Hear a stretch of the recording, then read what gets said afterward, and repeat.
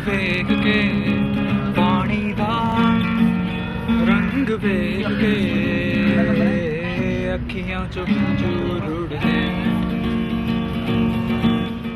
उगाना ही नहीं सजाना भी एक आर्ट है। और नौजवान नस्ल में इस फन को फरोख देने के लिए पार्क एंड हॉर्टिकल्चर अथॉरिटी ने लाहौर में मुकाबले का एहतमाम किया। गहरे लाल हरे और आसमानी रंगों के फूलों की दुनिया आबाद की लाहौर के मुख्तलिफ़ कॉलेज ऐसी ताल्लुक रखने वाली पचास ऐसी ज़्यादा तालबात ने क्रिएटिविटी बहुत ज़्यादा बढ़ती है और एक स्टडी जो एक हम पे बहुत ज़्यादा बर्डन है स्पेशली हमारे कॉलेज में। तो उससे एक थोड़ा सा रिक्रिएशनल एक्टिविटी होती है। फ्लावर से हमने बुके सजाए हैं और बहुत अच्छा लगा इसमें हिस्सा लेकर।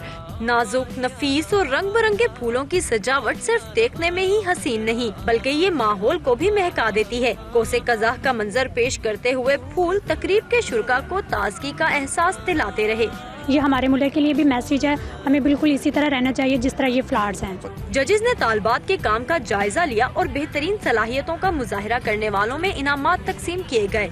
आराइशी गुल के इस मुकाबले ने जहाँ तालबात की फनी सलाहियतों में मजीद रंग बिखेरे, वहीं फूलों की मौसम की आमद से कबल बहार की नवीद भी दे रहा है। कैमरामैन नज़र इकबाल के साथ समन इकबाल, समा, लाहौर।